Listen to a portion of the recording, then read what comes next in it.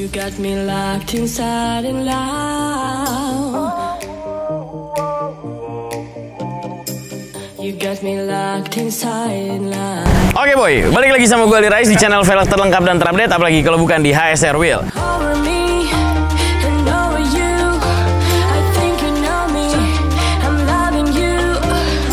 Nah, di video kali ini kita lagi kedatangan salah satu customer, salah satu produk baru kita yaitu adalah Big Brake Kit dari HSR Wheel.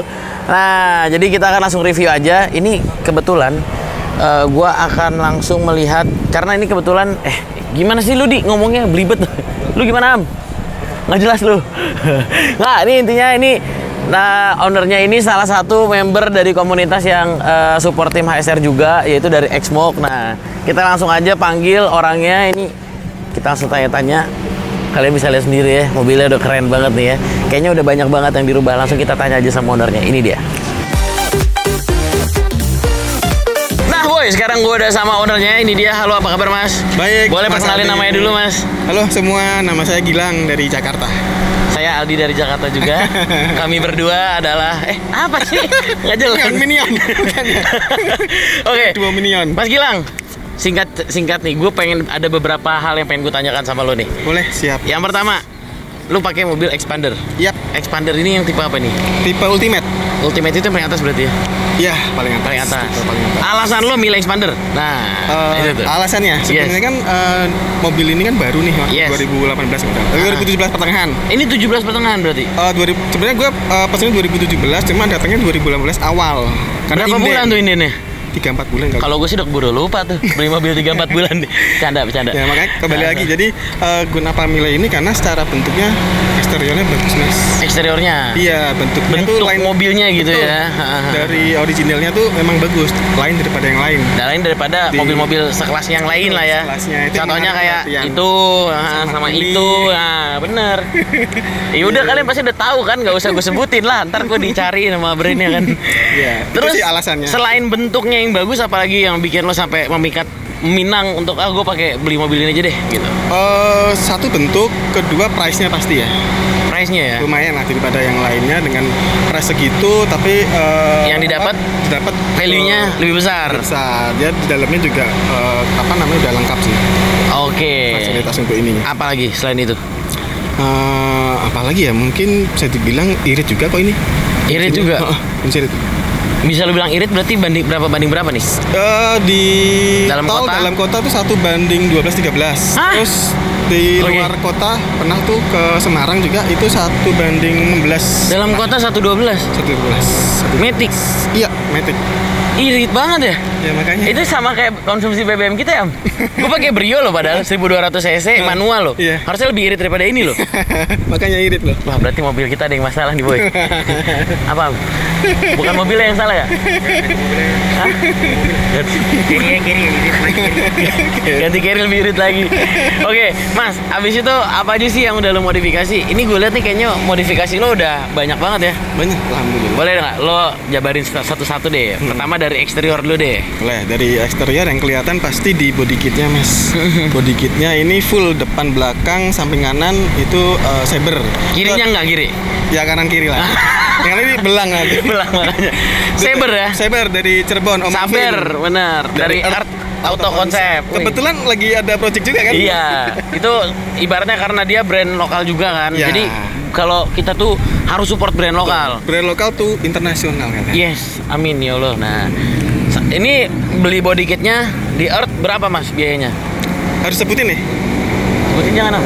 Sebutin ya Range aja, range Oh, aja, range. range. Range antara- Boleh lu naikin dikit, boleh lu turunin dikit, terserah lu dah. Range-nya 9 sampai 10 9 sampai 10 juta. Nah, Oke. itu untuk body kit Body Terus kit. eh, knalpot Dia udah bolt on Knalpot kurang lebih 2an deh nggak salah Kenapa 2 juta? 2 jutaan Dari set jadi ke tengah. Iya Wah, murah loh.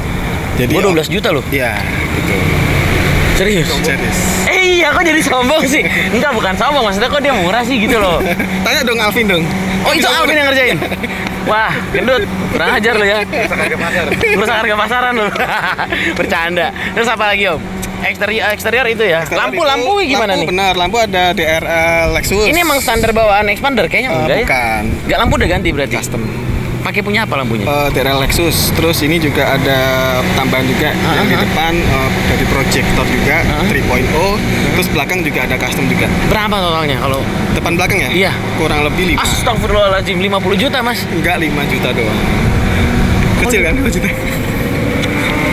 Am Am Gue pengen nyebut harga nih Takutnya dibilang sombong Nggak usah deh Nggak jadi Budgetnya minim tapi oke ya Ya. Maksudnya hasilnya keren ya Nah ini nih modifikasi tuh nggak melulu harus duit keluar gede Iya. Nih buktinya nih 5 juta lampunya udah ganteng Ya kan Terus apa lagi mas Dari lampu Eh, Oke, eksterior ya. Jadi itu terus Spion, spion standar lah ya. Standar, standar. Spion standar, terus Iya. ya stiker-stiker kan nggak mungkin bayar ya Paling mas daktel ya. ya, daktel Oh, daktel belakang, Ah, daktel belakang 800 1 juta, 750. 750 ribu. Wah, lumayan tuh, 800 masih kembali gocap. Terus terus apa lagi mas? Eh, Oh, interior, interior, interior. interior. Tadi eksterior udah ya. Interior ganti jok. Ganti jok. Jok, ganti eh, jok, ganti joknya apa? Ganti kulitnya, red trim. Kulitnya. Red trim aja. Jadi ya yang yang lama Red trimnya di mana tuh mas? itu di Bekasi di lupa namanya apa ya? Ah, Di AXC nggak salah. AIC ya. Itu berapa budgetnya mas? 6 6 6 juta. Mahalan. Bugatti pakai. Bukan mahalan itunya daripada lampu ya. 6 juta. Karena harus nyaman juga kan di dalam. Benar. Perjalanan jauh. Benar benar benar setuju gua. Terus head unitnya tadi gue udah dirubah ya. Dan unit udah Head dirubah. unitnya pakai apa itu? MTEK eh, 10 in. 10 in. Dan bagusnya tuh dia nggak floating dia nempel ya. Mm. Berapa duit itu, Mas? Itu 3 deh nggak salah. 30 juta. 3 juta doang. Jangan dilebih-lebihin dong. Nih kayaknya dia punya orang dalam nih. ya, Am ya. Am. Nih kayak dia punya orang dalam. Kebetulan kena. Di mana itu head unitnya? Gantinya. Di, di Kelapa Gading. Di Kelapa Gading. Iya. Di Keramat sebutin. Motor. Biar kita samperin besok Om Akyong, tokonya. Om Akyong. Om Akyong ya. kita samperin besok ya kan. Kita cek. Tahu-tahu jangan-jangan 3 juta harga dia doang nih. Buat yang umum 7 juta ya. Enggak kok. enggak. Enggak ya? Oke, terus dan sekarang kita masuk ke bagian oh interior audio kayak tadi ada Ya, ini ada subwoofer ada tambahan dikit sih. Itu kan subwoofer prosesor pakai juga. prosesor pakai pasti. Subwoofer prosesor Untuk menunjang speaker diganti aja. apa? Oh, standar? speaker ganti JBL yang depan. Nah, ini pasti mahal nih, Boy. Berapa Om habisnya, Om? Eh 6 juta kok. Enggak. Ini enggak asik nih. 6 juta. Ini enggak asik nih. 6 juta ganti di mana itu? Di, di kamar motor juga. Di tempat di, di Iya, sana juga. iya. Om, kita harus ke sana Om, kapan-kapan. Gimana, Om? Main dong, main dong ke sana. Setuju Om enggak? Ntar kita main-main ke sana, kita gerebek coba. Di Workshopnya. Keramat Motor. Keramat motor ya, itu daerah Kelapa Gading. Kelapa Gading. Ingetin Om. Tahu nggak dia? Siapa? eh, kalian penasaran nggak tuh keramat motor di mana? Coba tuh barang-barangnya murah-murah. Ih, menurut gua ya. Gitu. Tapi kan gua nggak tahu nih. Kadang-kadang kan harga juga eh, bahannya tergantung juga gitu kan kebutuhannya. Mungkin speknya Om butuhnya seperti apa, orang lain butuhnya seperti apa. Yang penting kalau audio kan enak didengar itu aja sih kalau Benar. saya. Karena nggak bisa dilihat. Ya. Jadi em- emang cuman bisa didengar Om. Jangan cuman kalau itu dok. Gue kesel nih. Oke oke. Habis audio kita eh, masuk ke bagian undercarriage. Ada Nah. carriage kaki-kaki. Yoi kaki-kaki. Eh, Ini udah- pernya pakai apa nih? udah nggak pakai per lagi. Disombong. mancing ya? Sebenarnya mancing. sombong nih Mas Gilang. Udah nggak pakai per ya? Nggak pakai. Sombong bener-bener sombong. Pakai balon sas. udah pakai airsas ya. Itu Mas Rifki itu Mas Rifki itu. Oh berarti di akasia itu. Wah itu ponco mas sama saya. Ponco, Ponco kencel ya? ponco, ponco kental. Mas Rifki itu. Iya, di situ. Range-nya harganya berapa mas? Masang airsas di Dua sana. tiga sama box dua empat lah. Dua tiga, dua puluh empat juta lah ya kurang lebih. tiga ratus. Oh, jadi kalau itu harus pas itu jangan dikurangin. Tuh, canda lu am. Akasia bos. tiga ratus tadi kan gak ada yang under gak ada yang iya bener juga sih. Oke. Terus selanjutnya, nah sekarang velgnya om, velgnya pakai ring berapa om? Ring 18. Ring 18, lebarnya, Lebarnya sembilan setengah sepuluh. offsetnya, Offsetnya depan 0, belakang minus 7 mewah. Terus remnya tadi gede, bagus tuh, Iya dong, BBK punya HSR. bagus emang. Bagus banget. Serius? Besok gue cobain lah BBK HSR. HSR di mana sih tokonya? Gue pengen juga dah Banyak, tokonya banyak, bingung nggak? Oh, banyak ya? Bingung saya. Iya, banyak. Di mana sih Mas? Eh, penasaran nggak sama HSR? Gue setelah kita samperin apa? Ini Yang punya siapa sih, Mas? Nggak tahu saya juga. Siapa HSR apa sih mas? Nggak tahu saya juga. Cuma denger, sering denger denger doang dari orang katanya bagus-bagus tuh. Bagus. Velgnya, Iya, BBK-nya, lower kitnya, Bannya juga banyak lagi. bannya juga banyak. Acelera Forsium GTEC Yokohama. Kok hafal gue ya? Nggak perlu sombong ya? Big, ah, eng- Enggak, enggak, enggak sombong mas maksudnya. ya? Enggak, enggak juga, Enggak enggak. Kebetulan ada di skrip tuh, Oh. kan ada dibaca di situ tuh. BBK-nya kemarin budget- budgetnya berapa mas? Eh, 13 belum pasang. Tuh ya kan, murmer, ya kan? Murmer. murmer. Nah. Murmer dan kebetulan dipasang di sini bagus banget. Nah itu coba deh mas, boleh ceritain nggak? Ini kan karena kebetulan Big Bracket ini salah satu new product nih dari HSR Wheel gitu kan.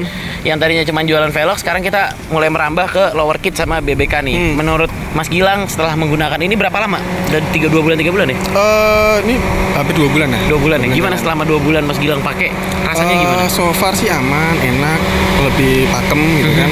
Eh, pernah pakai jarak jauh itu Cirebon Jakarta.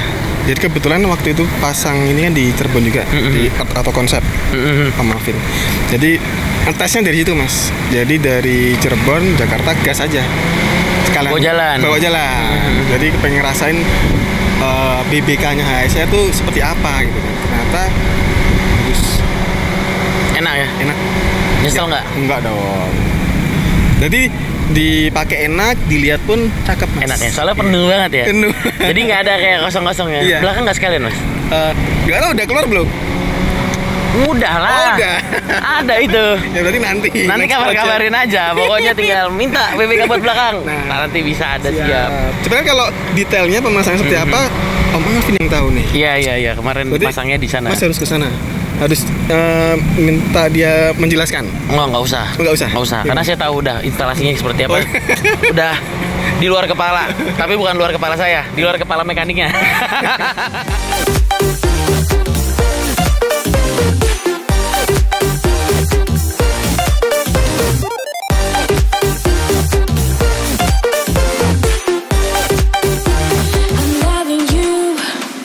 Oke deh. Mas Gilang, eh, ada nggak saran buat HSR Wheel gitu? Eh, untuk teman-teman HSR ya berarti ya Ya buat buat buat HSR-nya gitu Oh, loh. HSR-nya. Buat HSR-nya semoga apa ke depannya. velgnya lebih banyak lagi, terus gaji Aldi ditambahin gitu atau apa? Nggak? Bukannya Boleh. sisa ya? Hah? Bukannya sisa, mau Sisa. bingung mau ngabisin. gue suka kejujuran ini. Boleh mas. Saran dan kesan dan saran dan pesan lah buat buat kita lah buat HSR iya. Wheel gitu. Eh, ya mungkin eh, dipertahankan aja untuk eh, apa namanya servisnya. Jadi Mhm. customer jadi tetap customer nanti loyal. Terus produk-produknya juga eh, up to date. Eh, ke depannya supaya lebih eksis dan maju. Saran buat ASR siap siap siap siap. Oke lah kalau kayak gitu. Mas Gilang sekali lagi terima kasih banyak. Siap. Sampai jumpa lagi Siap. Makasih ya, Semoga- Mas Aldi. sama-sama aku yang terima kasih sudah Hmm. mempercayakan kaki-kakinya pada HSR Wheel Oke boys, gitu dulu video gua review expander yang menurut gua paling keren. Karena apa? Karena ini sudah menggunakan body kit Saber, nah, body kit dalam negeri. Udah gitu juga menggunakan produk-produk dalam negeri. BPK-nya BBK-nya juga dari HSR Wheel ya kan. Oke, segitu dulu boy. Gua Aldi undur diri. Jangan lupa ingat velg, ingat HSR.